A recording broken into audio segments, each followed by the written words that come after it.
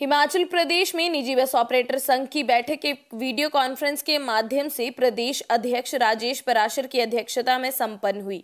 बैठक में प्रदेश के सभी जिला की यूनियन ने भाग लिया और बैठक में यह तय किया गया कि जब तक सरकार निजी बस ऑपरेटरों को बुलाकर बातचीत नहीं करेगी, तब तक प्रदेश में कोई भी बस नहीं चलेगी। बैठक को संबोधित करते हुए प्रदेश अध्यक्ष राजेश पराशर ने कहा, आज हिमाचल प्रदेश निजी बस ऑपरेटरों की एक अहम बैठक वीडियो कॉन्फ्रेंस के माध्यम से संपन्न हुई, जिसमें कल हिमाचल प्रदेश कैबिनेट में जो फैसला लिया गया कि एक जून से प्रदेश में बसें चलाई जाएँगी और 60 प्रतिशत ऑक्यूपेंसी के ऊपर बसें चलाई जाएँगी।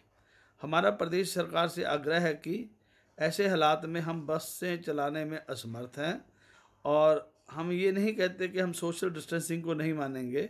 बिल्कुल मानेंगे और डब्ल्यू के आदेश भी मानेंगे, आपके आदेश भी मानेंगे। परंतु सरकार हमें यह ज़रूर एक बैठक के माध्यम से ज़रूर सुनिश्चित करें कि जो हमारा जो घाटा होगा, उसकी भरपाई किस तरीके से की जाएगी।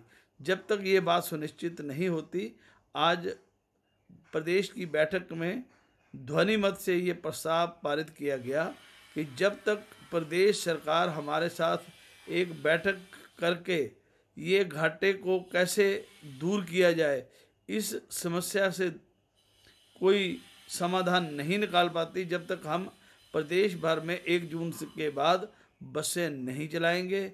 सरकार हमारे साथ बैठ के चर्चा ज़रूर करे और हमें हमें ये ज़रूर समझाए कि हम जेब से डीजल डाल के बसें चलाने में असमर्थ होंगे और ऐसे समय में पचास या साठ प्रतिशत अनुपात से स्टेज कैरिज बसों को कैसे चलाया जाए? विभिन्न तरह के पहलू है जिन्हें सरकार एक बैठक का आयोजन करके, उस पर चर्चा करके, जब वो चर्चा ठीक निपट जाए, उसके बाद ही हम बसें चलाने में के लिए तैयार होंगे।